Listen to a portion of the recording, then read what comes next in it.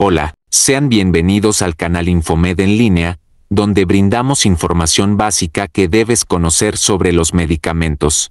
Hoy hablaremos sobre eritromicina. ¿Para cuáles condiciones o enfermedades se prescribe este medicamento? La eritromicina se usa para tratar ciertas infecciones causadas por bacterias, como por ejemplo, infecciones del tracto respiratorio, incluyendo bronquitis, neumonía, enfermedad de los legionarios, un tipo de infecciones en los pulmones y tosferina tos convulsa, una infección grave que puede causar tos intensa, difteria, una infección grave en la garganta, enfermedades de transmisión sexual, incluyendo sífilis e infecciones de oído, de los intestinos, ginecológicas, del tracto urinario e infecciones de la piel. La eritromicina pertenece a una clase de medicamentos llamados antibióticos macrólidos. Su acción consiste en detener el crecimiento de la bacteria.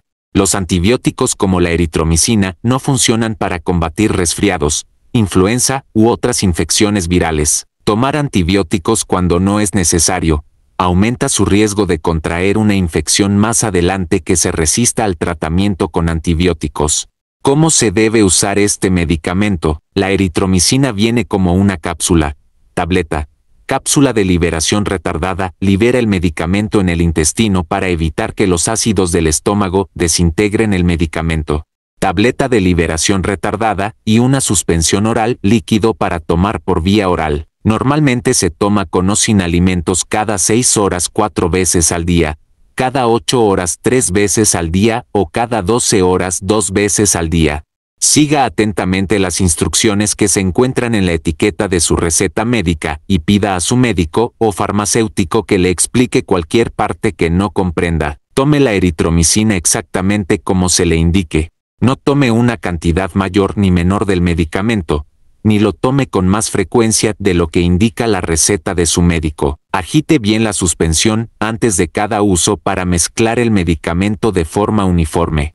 Si toma el medicamento en suspensión, no use una cuchara doméstica para medir su dosis. Use la cuchara, el gotero o la copa medidora que viene con el medicamento o use una cuchara fabricada específicamente para medir medicamentos.